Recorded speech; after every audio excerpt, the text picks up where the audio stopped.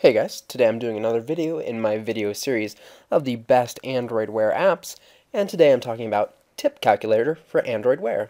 And I really like the design of Tip Calculator. It's got a very easy to navigate interface.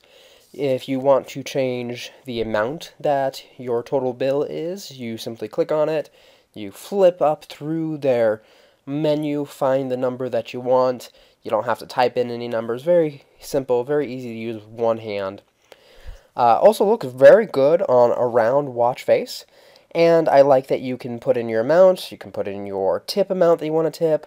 Uh, if you want to split this between multiple people, you can do that. And this is where it gets really handy for me. If I'm splitting it between three people and I'm trying to figure out, okay, how much should the tip be?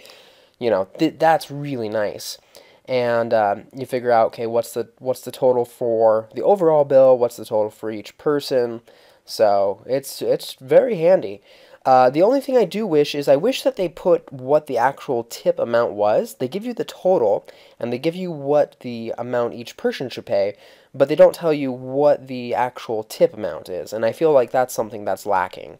But other than that, this is a great little app, and I think it's definitely worth adding to your app collection. Thanks for watching guys. If you're interested in learning more about any of the apps you saw in this video, you can find their Google Play download links in the description below. I always love hearing your feedback, so leave me a comment and let me know what you thought. And finally, if you enjoyed this video and you'd like to stay up to date with the latest apps and Android Wear developments, click the subscribe button. I'll see you guys next time.